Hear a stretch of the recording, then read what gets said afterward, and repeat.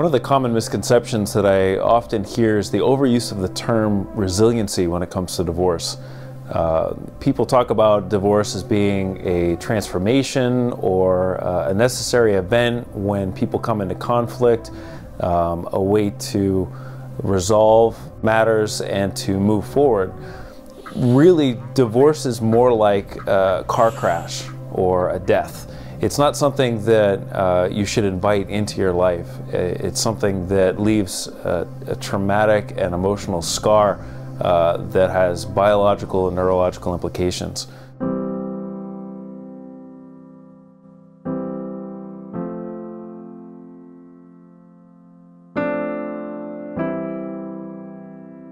I think it came in stages. I remember thinking on our third date, distinctly remember, we were just sitting at dinner talking and I can't even remember what he was talking about, but um, he, he just, I was just struck by how genuine he was and he's very sort of settled and confident in himself and I just felt like I could trust him and I remember just thinking to myself, you know, I, I, I really like him.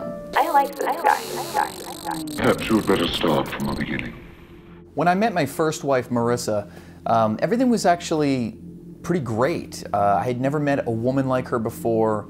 She was fun, outgoing. We really just sort of hit it off um, right away. When I first met Jason, I was really attracted to his eyes and his smile, and he had a really great dick. And he was so sexually adventurous and passionate and this really gifted lover. Marissa was very open to exploring her body and in turn exploring mine. Um, but one of the things that I noticed was as the relationship turned into an engagement and then a marriage, um, she often had a little bit of, I guess, what I would call a revisionist history when it came to our sex life. He lost that sense of sexual whimsy I just really needed. And what good is a great dick if you never get to use it? Um, and the more I tried to spice things up, it, the more vanilla it became in bed. She would fancy herself a little bit of a um, savant and a master of the dark arts when it came to the bedroom. When a child grows up without a father figure in their life, um, it leaves them adrift. Uh, for Jason, this was especially traumatic uh, because when he was first married, uh, he didn't know how to act. He didn't know how to be um, a husband to his wife. He just isn't that guy. He doesn't know how to please a woman, and I just don't think he's ever going to change. I don't think he's even going to try. She either wouldn't be home and wouldn't return home for hours on end, or she would be so blackout drunk that she would call me another man's name. Her uh, wanting him to engage in uh, sexual practices that he wasn't comfortable with, uh, the different toys that she brought home, the different men that she brought home. I've always been an exhibitionist. Really draw, drew out his, his insecurities and allowed him to then say, well, clearly it's not my fault that I don't want to get into these depraved acts. It's, it's her fault, and that's why the marriage ended. I happened to go into my bathroom and find another man's watch sitting right next to my toothbrush.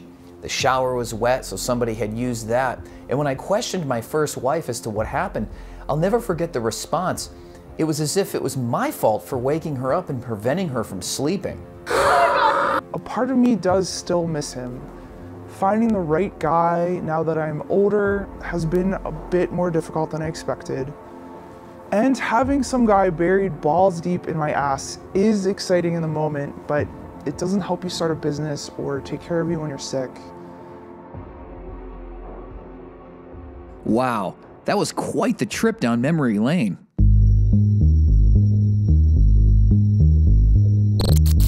A couple years after my marriage to Marissa ended, I took a new job and moved to the other side of Massachusetts.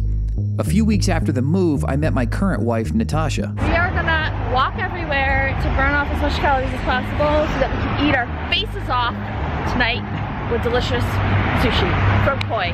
Dang. I remember being intimidated because she was beautiful, strong, independent, and super Portuguese. Estou vindo todo dia. Estou lembrando, lembrando mais, mais mais todos os dias. She stuck by me even though the failed marriage under my belt wasn't exactly a check in the right box. She was patient with my crazy travel quirks, So, what you see here is two different motion sickness drugs. And for the first time in my life, I shared with someone a desire to start a family.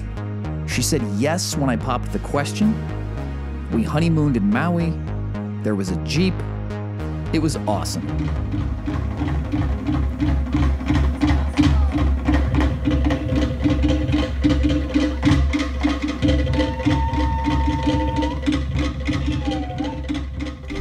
Off to get fish tacos. I'm not hungry yet, but we will work up an appetite, have some delicious tacos, and then we're gonna get some shaved ice, baby! Shaved ice. A few months after getting married, we took a trip to Los Angeles. Natasha had lived there for almost a decade, so she was the ultimate tour guide. So we're gonna head back to our hotel. They have a happy hour on the rooftop from five to six, which starts in seven minutes. Sweet. This is what growing with a partner is supposed to be, and I've been reaping the benefits ever since. The gift that keeps on giving, this marriage of mine, ours. I think my style that I'm going for today, honey, is um, like vintage, filthy Mickey Rourke. Yes. kind of greasy. Yeah, greasy Mickey Rourke. Sometimes when I look back, I can't believe how far I've come and how much I've grown. Once you move on from something as traumatic as divorce, it's easy to assume you've learned everything you needed to because you went through fucking hell. When the pain scars over, you wear it like a badge of honor, something you're proud to have survived. Another thing I realized uh, after my first marriage was over is that it's quite often easy eh, to process the pain and sort of get over uh, the divorce and not necessarily ask yourself what you did or how you contributed to the marriage or the failed relationship. Um, so you can kind of tap into that, lean into that pain and that, that discomfort and figure out, you know, what you did to ensure that you don't do it again. You don't find yourself in a similar situation. The answers to these questions are hard to face if you're not relentless with your pursuit of self improvement, if you're not honest with the therapist you pay to help you, if you don't lean into the fear and pain, you won't begin to fix what's fundamentally broken. So as Jason moved forward post divorce, um, he never got a clear understanding of exactly what it is that he needed to work on to develop himself as a man and later a future partner.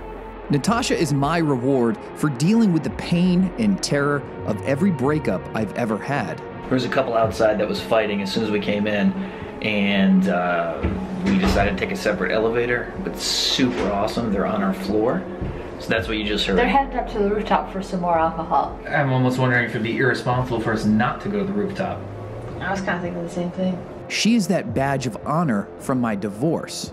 She is also the harshest reminder I have that coping with the pain of divorce isn't enough.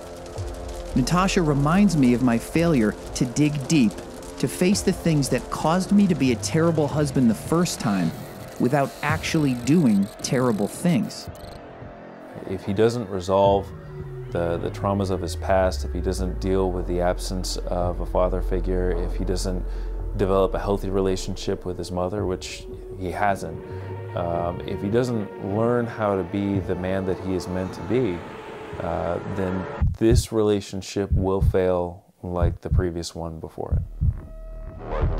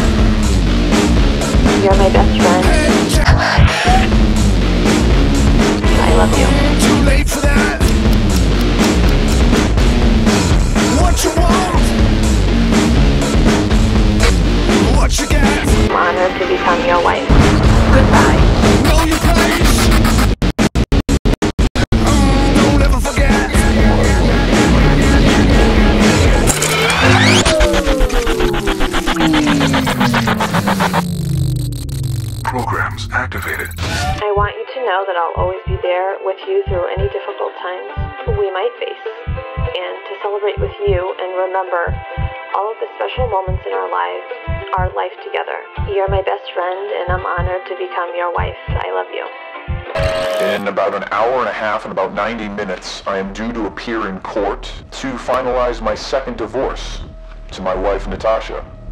So I'll be doing this again for a second time. That's where I've been. That's why there's been no videos on this channel.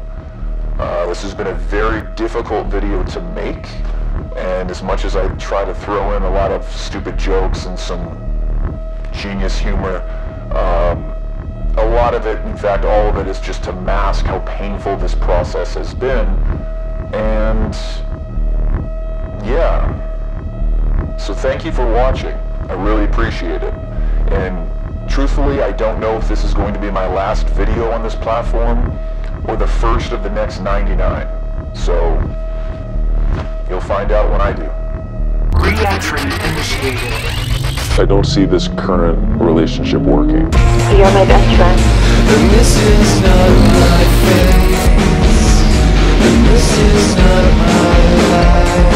I love you. And there is not a single thing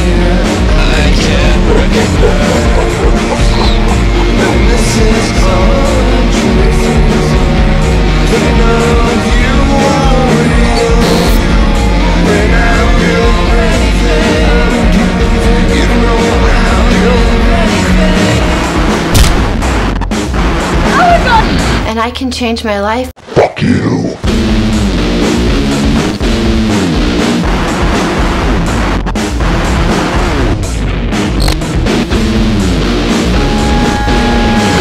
I'm honored to become your wife. I love you. I don't see this current relationship working. You're my best friend.